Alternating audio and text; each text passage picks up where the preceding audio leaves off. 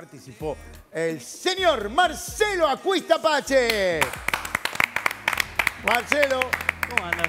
¿Andas bien? Bien. Hola, Adelante, hola. Viste que También, está todo, el, está todo el equipo, lo Opa. logré. Ya veo, Lo logré. es, es El otro día cuando se fue Marcelo, le di una ropa de cada uno de ustedes. Y le, dije, Marcelo, le tratá de ubicármelos a todos, por favor. Están Estamos, todos estamos- juntos. estamos implementando esto ahora. Se Toda la me semana me llegan No, no. paquetes con los empleados de FA. Obvio. ¿Cómo te va, Marcelo? ¿Andás bien, bien? bárbaro. Bueno, me por alegro, suerte, me de alegro, verdad, me un verdadero gusto estar con ustedes nuevamente. Nos habéis adelantado algo. eh, Sí, bueno, hoy vamos a hablar un caso que fue muy mediático en su momento, que fue la desaparición de una señora que vivía en, en Punta del Diablo, eh, Cristina Jones, con 78 años. Ella, digamos que se había cansado de vivir en Montevideo y en su momento con su pareja se fue a vivir a Punta del Diablo, se separaron y, quedó sola.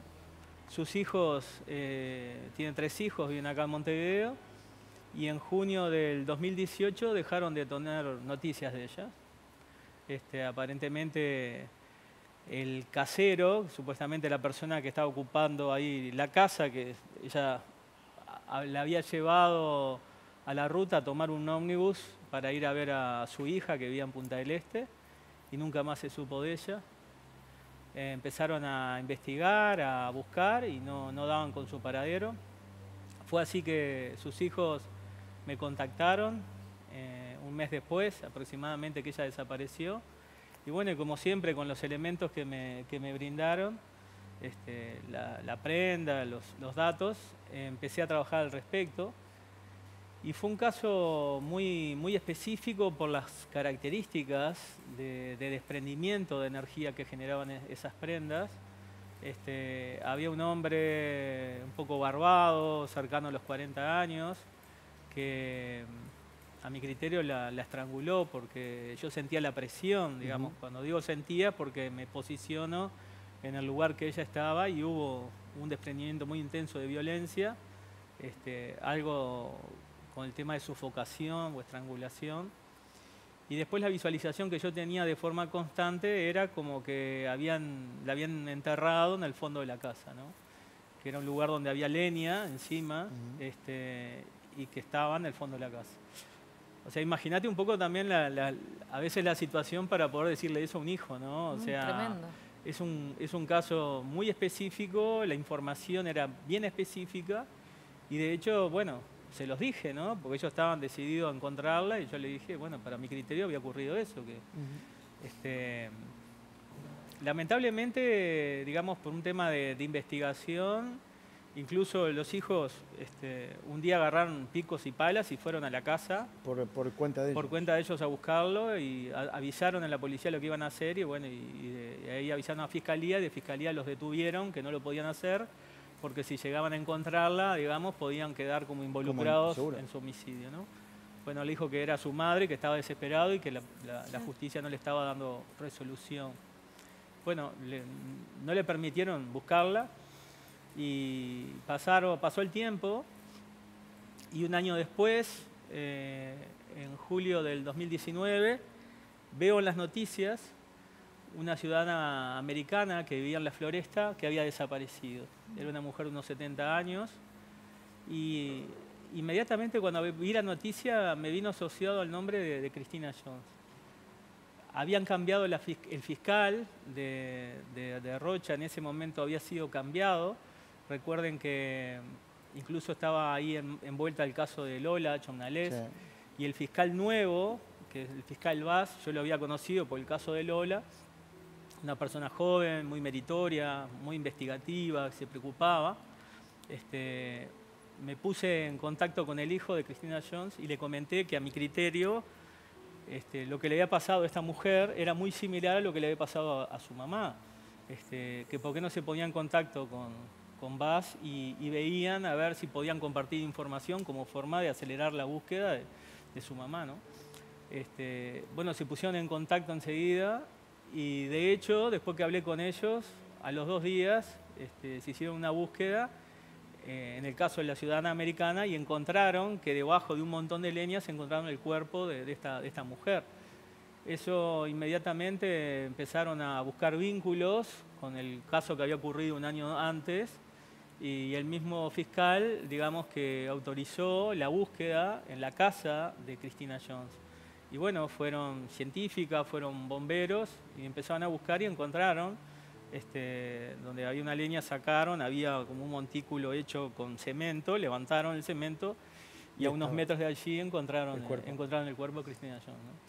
Este, lo que trajimos eh, fue un programa que estuve justamente acá en el Canal 4 hablando al respecto. Y después, si querés, comentamos un poco la definición acá en piso. Y lo que tenemos al final es el testimonio de uno de los hijos de, Cristina, que bueno, nos cuenta un poco mi aporte y mi participación, porque eso siempre es, es importante también este, para que se vea que la, veracidad de, lo que digo. ¿no? dale, dale, bueno, buenísimo, dale. No te solicitan tu servicio y, a vos se te viene una imagen, ¿verdad? Como te pasó en un caso con Cristina. Sí, bueno, el caso de Cristina Jones. El caso de Cristina Jones, este, a mí me solicitan información un año antes, ¿no? De que ella apareciera. Sí, sí, sí, los hijos me, me, piden colaboración. Yo trabajo con la prenda, con los elementos y visualizo de que, de que bueno, de que está fallecida por el desprendimiento que te genera. ¿no? O sea, cuando tú tocas la prenda de una persona que está eh, fallecida, te genera como un desprendimiento de energía. Es como una corriente eléctrica que te va de la base de la nuca hasta la espalda, asociado a tristeza y amargura. En el caso de, Cristina Jones, había un desprendimiento asociado a violencia. Eh, me da la sensación de que era una especie de estrangulamiento por, por la forma en que ella sentía. Y después lo que le digo a la familia es que, o al hijo, es que mi criterio lamentablemente su mamá está muerta, había un hombre que era el responsable de ese fallecimiento, hice la descripción, le envié el dibujo y le dije que estaba enterrada este, al fondo de la casa este, y bueno, le, describí las características. Pasó un año y no se encontró el cuerpo. De hecho, los, buscaron los hijos, incluso buscaron el lugar que habíamos indicado y el fiscal les aconsejó que no siguieran excavando porque si la encontraban podrían pensar de que ellos estaban involucrados en ese homicidio. Bien. replica un poco lo que, lo que estoy contando ahora, ¿no? Ese, esa invitación que me hicieron acá en el canal justamente fue cuando encontraron el cuerpo de Cristina Jones. ¿no? este, el detonante fue esa desaparición de esa mujer americana y las características de, la manera en que funcionaron los dos homicidios fueron muy similares. Pero recordemos que no fueron el mismo homicida. Este, en el caso de, la mujer eh, eh, americana, este, ella tenía 70 años y a él lo había conocido este, allí en la, en, la, en la, zona y de alguna manera había una especie de relación sentimental. Este, incluso ella después que lo conoció, estuvo, a él lo procesaron por estafas y ella fue ocho veces este, a la cárcel a verlo. ¿no? Había cartas donde de alguna manera este, había una, una, una, interacción allí personal. Este, y de hecho, eh, siempre el fin en ambas características fue el robo, ¿no? En el caso también de, eh, en el caso de ella, eh, una vez que ella desapareció, este, esta persona fue y vació las cuentas del banco, trató de y vendió los muebles. Y en el caso de Cristina Jones fue bastante parecido. Ella había sacado un préstamo este, unos días antes del Banco República y, bueno, y el casero de ahí este, se quedó con el dinero de ella. ¿no? Este, ambos casos, si bien no era la misma persona, las características del homicidio fueron muy similares. Y a lo que voy es que como una noticia de un caso que sucedió un año después, de alguna manera se asoció A, lo que ocurrió y bueno, y por suerte este, se terminó encontrando, porque fíjense en que si no se busca, a veces este, podría estar todavía, todavía allí. Bueno, y ahora para terminar un poco lo que vamos a, escuchar es el, testimonio de, uno de los, de, la hija, del hijo de, Cristina, perdón. Y, bueno, y vamos a ver algunas imágenes eh, que salieron en prensa al, respecto. Soy Alfonso Rabeca. Mi madre desapareció en junio del 2018. No supimos nada de ella, empezamos a buscarla y no podíamos encontrarla. y recurrimos a Marcelo Aquitapache para que nos orientara qué informaciones nos podía dar al respecto.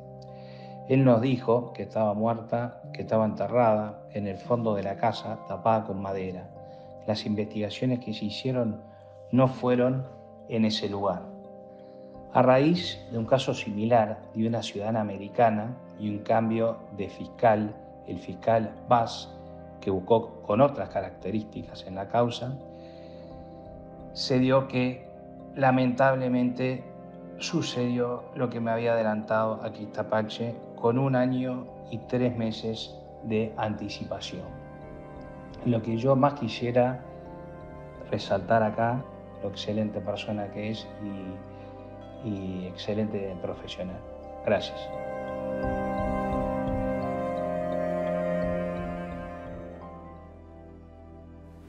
Fue, un caso muy paradigmático por sus características y bueno, y, digamos de alguna manera la, incidencia que un psíquico a veces puede aportar en estos casos, a veces aunque no se valore, bueno, pero por un lado o por el otro después terminan muchas veces coincidiendo con la visualización. Marcelo, el, homicida fue el casero, ¿no? Sí, el, homicida era, era, el casero. Que inclusive fue entrevistado por las cámaras de Canal 4. Era el que salía dando notas, ah. este, de hecho se quedó viviendo ahí en su casa. Volvé, te este, esperamos, decía. Bueno, sí, que lo estaban esperando y iban vendiendo todas las, cosas hasta que después, bueno, la, justicia le dio, digamos, la posesión a los hijos, ¿no? Pero, digo, en ambos casos, digo, y había una, asociación ahí del casero con su mujer, con, hubo como, como seis procesados, ¿no? En el caso incluso del casero, este, terminó siendo procesado, le dieron una condena de 23 años, y en el caso de la mujer, este, la ciudadana americana, le dieron 26 años, por las características y porque que había una, digamos, una relación de, intimidad, digamos así. ¿Alguna vez, mira lo que se me ocurre preguntarte, ¿alguna vez te pasó o, digo, porque hay gente muy escéptica que no creen en muchas cosas. Digo, pero así como vos decís que este, pusiste el caso de que si los hijos, por ejemplo, iban, desenterraban y se, los podría asociar o, sospechar de ellos. Eh, ¿Alguna vez pasó que te insinuara la policía o alguien algo que vos estuvieses involucrado en algún hecho por ser tan certero en la información? bueno, sí, de, hecho... ¿Pensás en eso cuando, cuando le decís a alguien, para mí es tal, tal lugar, tal otro, con leña arriba? Sí, digo, de hecho me ha pasado en varios casos. Quizás el caso más, más conocido fue el de María Victoria Williams, del 91, cuando el caso de, Pablo Goncalves, porque yo la veía fallecida, la veía eh, que estaba tirada debajo de una acacia, eh, con la cabeza cubierta como con una bolsa, y, de hecho fui con la policía y de hecho encontré el lugar. Este... Yo, aparte, vos das detalles que solo el homicida. Sí, sí, claro, es de loco, ¿no? Es de loco. Y estuve tirado debajo de la acacia, pero no estaba ella ahí. Entonces el policía me decía, bueno, pero no está. Yo le decía, bueno, pero puede ser que el homicida la tenga escondida, cuando se calme la búsqueda, venga y la tire acá. Y dice, pero, ¿por qué justo acá? Le digo, bueno, porque veo que está acá. Lo que pasó que dos días después que yo estuve ahí, eh, el cuerpo apareció ahí. Ahí. Entonces, al primero que fue una búsqueda. Claro, era vos. Tráeme a Cuitapache. claro. Tráeme, tócala con él, con el comisario. Claro. Porque de hecho, este, fue tan exacto, porque fue abajo de la casa donde yo había estado. Digo, eso fue una cosa fantástica. Incluso en ese caso, yo asociaba todo a la imagen de un canguro, que la policía bromeaba conmigo, pero me decía que, pero que estamos en Australia, que ves un canguro. Digo, yo le decía, no es un animal, es, un, es, un, logo. es un logo, es un dibujo de un canguro. Y de hecho, la persona que encontró el cuerpo, que era un encargado de un parador que cruzaba por ahí, eh, y encontró el cuerpo de María Victoria Williams, en la primera foto que sale en el diario de la noche tenía un gorro con el logo de Cangaro. Que de hecho cuando el comisario lo vio, este, lo asoció. Se, claro, se sorprendió. Marcelo, y ya que estamos haciendo algunas preguntitas, este, sobre este caso tan emblemático de Madeleine, viste que es esa niña que desapareció, hace poco una chiquilina dijo ser ella, hicieron esos análisis de ADN, no resultó ser ella.